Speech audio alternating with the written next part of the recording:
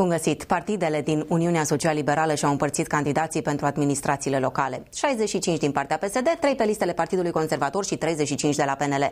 Numărul candidaților USL îl depășește pe cel al localităților, iar asta pentru că în șase unități administrativ-teritoriale USL are câte doi candidați, unul din partea PSD și unul din PNL. Vorbim despre comune precum Darova, sunt Mihaiul Român sau Moșnița. Reprezentanții PDL spun că au oameni proprii pentru toate primăriile. Acum în Timiș PSD are 23 de primari, PNL 16, iar UDMR 5. Restul edililor provin din uh, PDL sau formațiuni politice neparlamentare. Mișcările din ultima perioadă vor modifica clar cifrele. PSD se laudă cu cei mai mulți primari pe care i-a atras din tabăra puterii. Și cum edilii nu și-au dat demisia din partid ca să nu-și piardă funcțiile publice, vom ști exact câți primari candidează pe listele altor formațiuni abia la 1 mai, atunci când este termenul limită pentru depunerea candidaturilor. Anul